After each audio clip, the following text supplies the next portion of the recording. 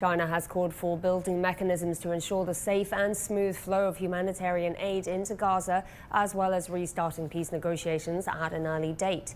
China's permanent uh, deputy permanent representative to the United Nations, Geng Shuang, made the statement during an emergency meeting of the UN Security Council.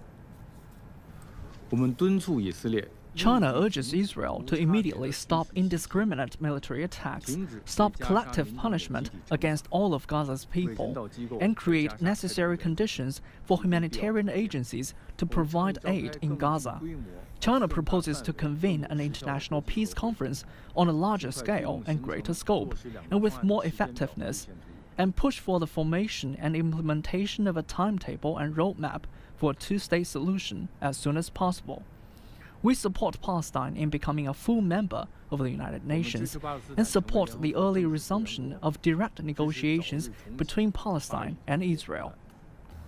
Geng Shuang says more than 2 million innocent civilians are suffering from an unprecedented humanitarian disaster, and the fundamental settlement of the Israel Palestine issue lies in the implementation of the two state solution and the restoration of the basic rights of the Palestinian people. He called on the international community to pool all efforts to push for a ceasefire and save lives.